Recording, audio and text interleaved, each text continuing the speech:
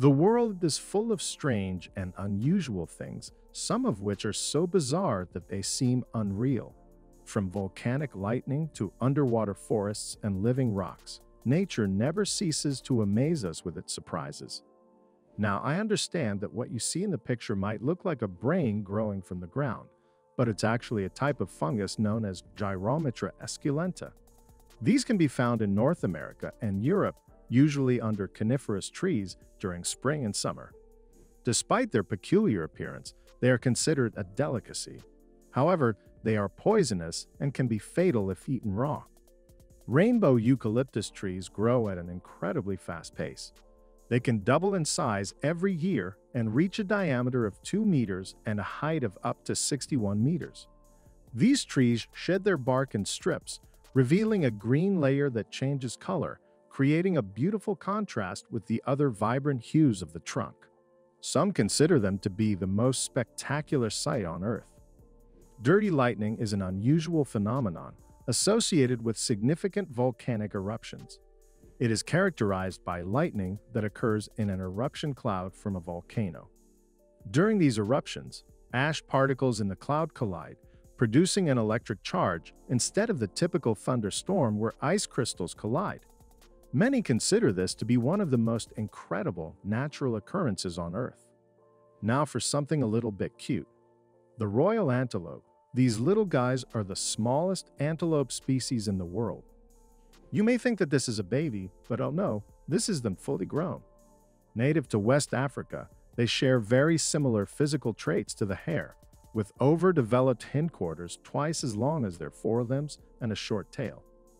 They can stand at 25 centimeters in height and can weigh up to 3 kilograms. No, these aren't some bird skulls or things used for witches' potions, they're just snapdragon seed pods that happen to look like skulls.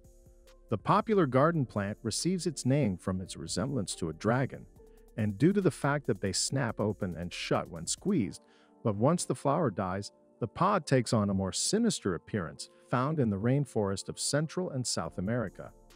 These flowers replicate juicy pairs of lips quite well. Sadly, they're becoming endangered due to uncontrolled deforestation, and they're only kissable for a short while before they spread open to reveal the plant's real flowers. Interestingly, the lips are not the plant's real flowers, but modified leaves known as bracts. Now, this guy looks more like an alien hybrid instead of a moth. This species of moth is native to Southeast Asia and Australia and I know what you're thinking. What on earth are those weird appendages used for? Those are a male's scent glands that produce pheromones used to attract a female whatever floats a lady moth's boat, I guess. Now, this caterpillar may be unlike any you've seen before, and for a good reason. This poor spiny oak caterpillar met a brutal fate. It was chosen as the unsuspecting home for a nest of parasitic wasps that decided to use it to raise their offspring. The braconid wasp lays its eggs underneath the caterpillar's skin, and once hatched, the braconid larvae eat through the poor caterpillar, after which they spin cocoons.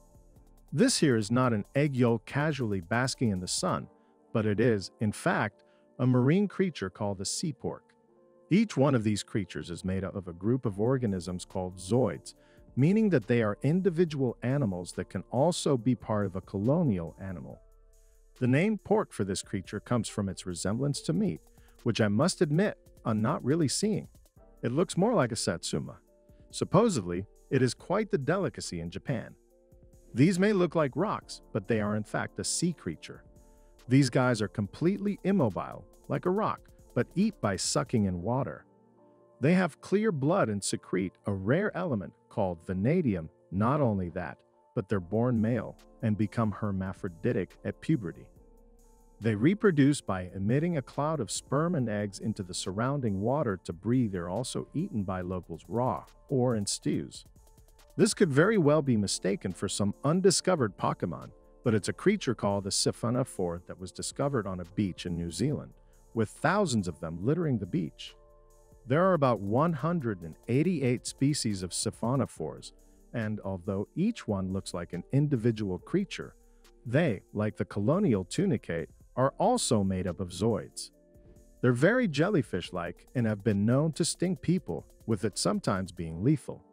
They are also the longest animal in the world, with some being found to be as long as 40 meters. Something that looks similar to the siphonophore is the Pterotrachoidea its long name makes up for its small size. This sea slug is commonly known as the water ghost due to it having camouflage organs, making them transparent. Its other nickname is water elephant for obvious reasons. We have all heard of aliens making crop circles in fields, but have you heard of crop circles underwater? Believe it or not, these circles are created by cute little pufferfish that are just a few inches long. Male pufferfish can spend up to six weeks building the circles to attract a mate. If the female is impressed with the male's creativity, she will lay eggs in the center of the circle. The riffles in the circle work as a shield against ocean currents. The more riffles the male fish creates, the greater his chances of getting some action with the opposite sex. Two crystal-like objects fell from the sky during a hailstorm in the UK. A resident described them as being almost impossible to pick up, as they were very jelly-like. According to a scientist who investigated the case, the objects could be eggs from a marine invertebrate. However, this still does not explain how they fell from the sky. Maybe a tornado picked them up and carried them for miles. What do you think? With the vast size of our oceans, it is no surprise that we are still discovering new species. The Gariglava rostris, for example, was only discovered in India in 2017. At first glance, it may look like it has some sort of infection on its nose, but the nodules are entirely normal and used for breeding purposes. The purple jelly disc, a fungus commonly found in North America, Asia, and Europe, looks like a piece of raw meat on the ground. However, it may serve a more useful function, as scientists have discovered it could potentially be a source of biofuel. The ocean is filled with many bizarre creatures, including the Melibe leonina. These strange-looking sea critters were discovered on the shore of the Pacific Northwest. The person who found them inquired about their origins on Reddit, where it was concluded that they are, in fact, a kind of sea slug called Melibe leonina, also known as a lion's mane nudibranch, which sounds far cooler. There are a variety of interesting, transparent sea dwellers found in the ocean.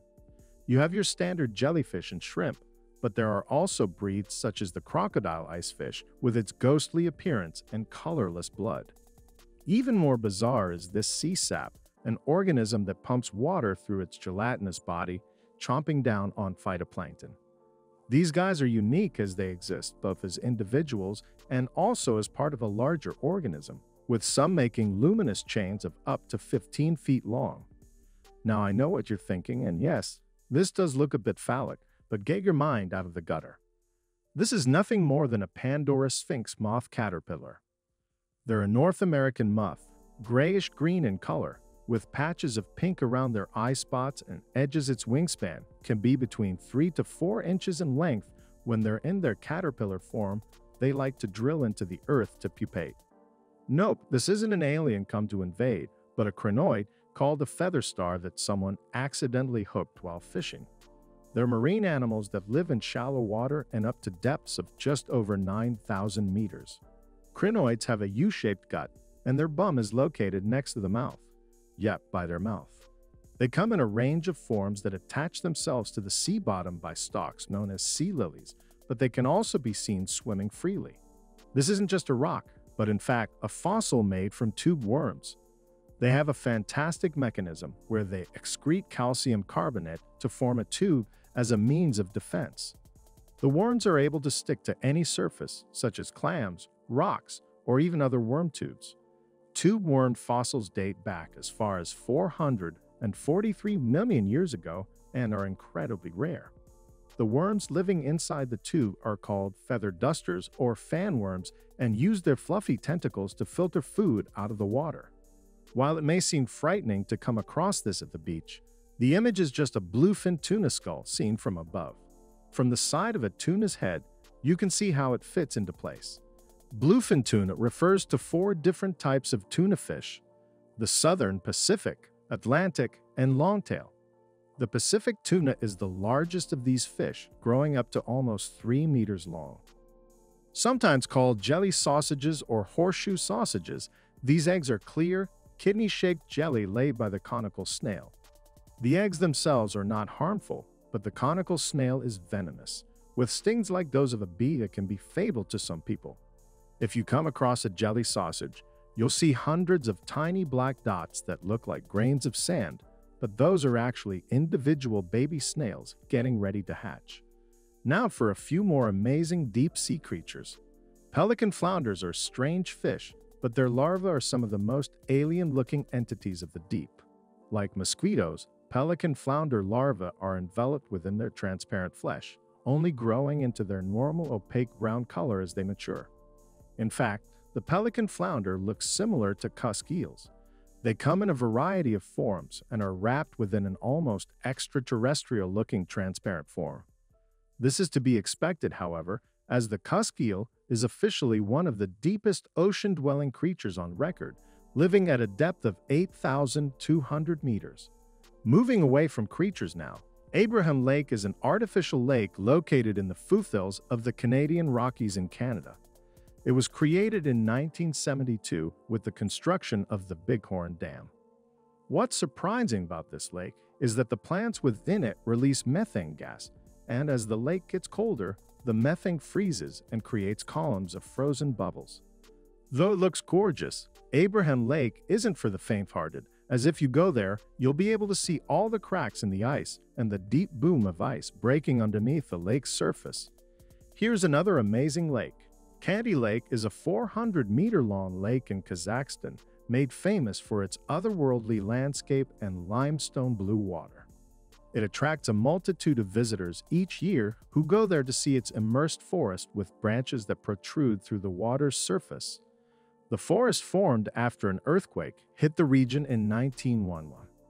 In addition to destroying over 700 buildings, the 7.7 magnitude earthquake created a massive landslide of limestone that formed a natural levee and gave rise to an underwater effect. The water temperature is freezing, which has helped to preserve the shrunk spruce trees that are submerged in it. So, which natural oddity surprised you the most? Also, do you know of any other oddity that should have made it to the list? Let me know in the comments section down below. Thank you for watching.